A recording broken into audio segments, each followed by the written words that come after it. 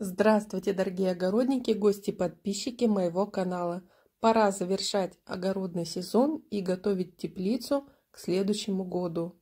Вот уже выросли последние плоды на баклажанах, созревают последние плоды перцев и огурцы уже из-за перепадов температур начали болеть. Пора их тоже убирать, чистить всю теплицу и готовить к следующему году году. Первым делом собираю последний урожай и чищу грядки. Стараюсь всегда а, ботву овощных растений не вырывать с корнем, а срезать у земли и собирать все а, сухие опавшие листья, сорняки, чтобы вредители и а, споры болезни не попали вглубь почвы и тщательно убираю весь растительный мусор.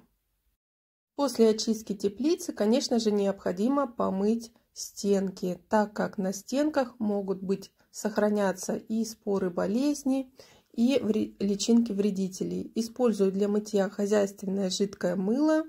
А, навожу такой крепкий раствор 40-50 мл мыла на ведро воды и с помощью большой губки делаю а, пышную пену и тщательно промываю стенки и все соединения теплицы.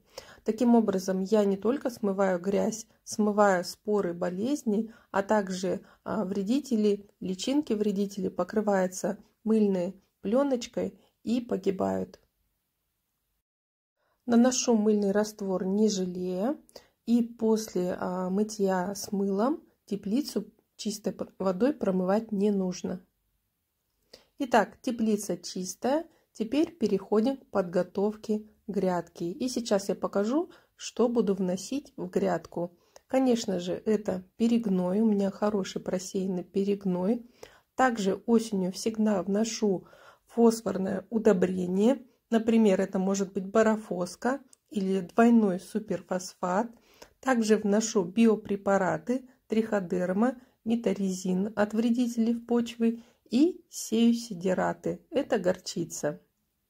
Двойной суперфосфат вношу из расчета 1 столовая ложка на погонный метр грядки. Равномерно рассыпаю удобрение по поверхности грядки а, перед перекопкой.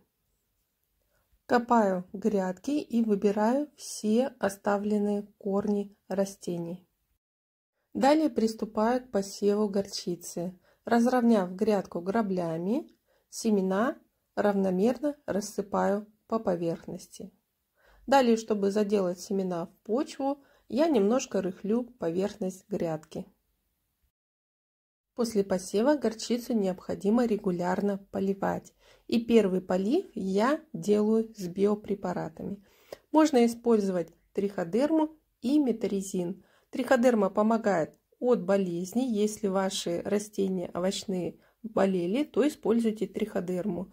Если у вас в почве а, есть такие вредители, как проволочник, лучше использовать метарезин. Я буду использовать в начале триходермы проливать и через неделю буду проливать метарезином.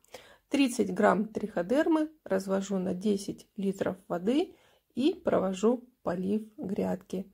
Далее полив буду делать регулярно, чтобы почва не пересыхала. Тогда горчица быстро прорастет и быстро нарастет зеленая масса сидератов.